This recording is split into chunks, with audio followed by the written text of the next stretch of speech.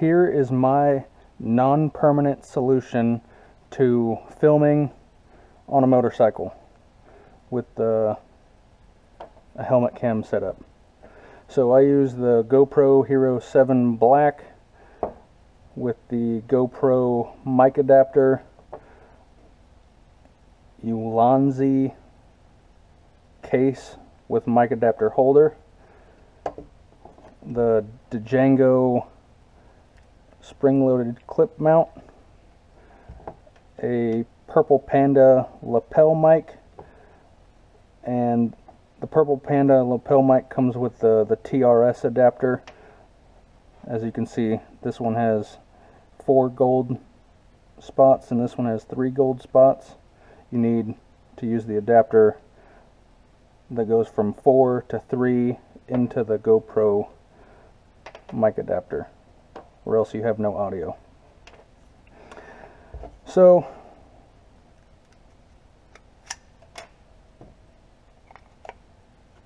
the GoPro fits right in there. The mic adapter slides into this. And it is uh, very snug. It's not going to wiggle loose at all. Just bend that, push that in.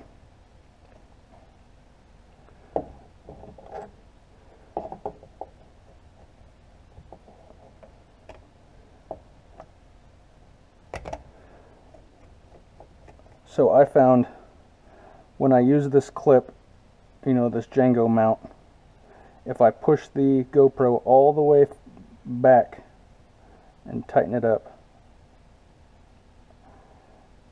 that way when it's, you know, when it's on the, uh, on the helmet, you get a good view of the horizon, plus you have a good view of whatever's at the bottom of the screen.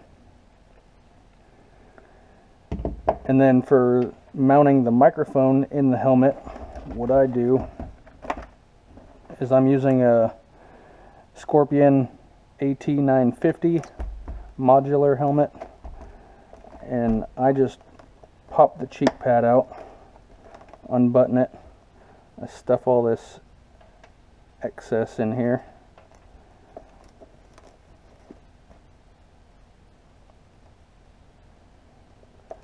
stuff a little bit more of that in there. Leave that dangling out just a little bit. And then I clip that back in. And then what I do with the microphone, I just tuck the wire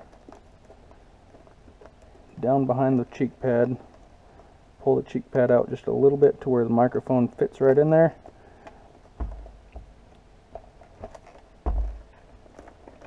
And with the TRS adapter.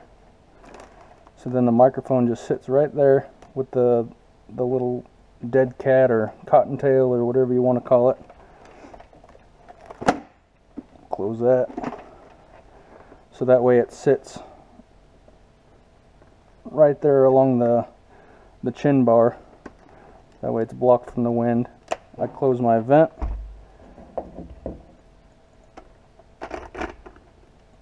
put the Django mount on there, make sure it's straight, and then plug the microphone into the mic adapter.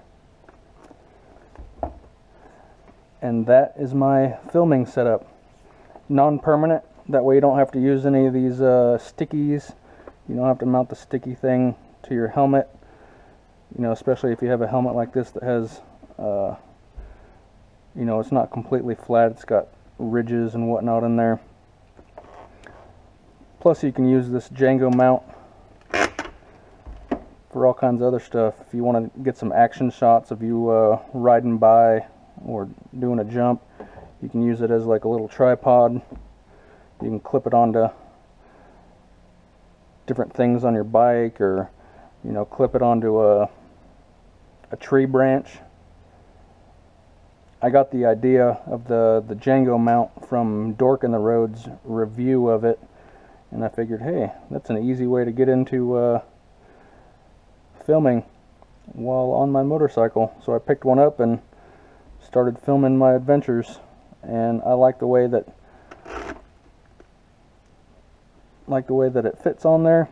The only thing is when you're wearing the helmet with that mount on there um, when you go to look down the the mount will hit you in the chest. So it does limit your range of motion just a little bit but it's insignificant. I will uh, add a link to um, Dork in the Roads review of that. and I'll put it in a little little card up in the top right corner. So if you want to get into moto vlogging or filming some of your adventures, I think this is a uh, a great way to go. That way it's removable. You don't have to put sticky things, or you don't have to drill or glue or tape anything to your uh, to your helmet. And then when you're done, you can just, at least on mine, I can pop that out. Oh, took on some. Pull all that out. Clip that back in. And voila. Quick and easy.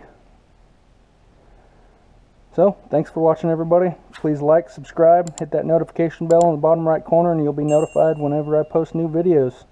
And that's all folks. Thanks for watching.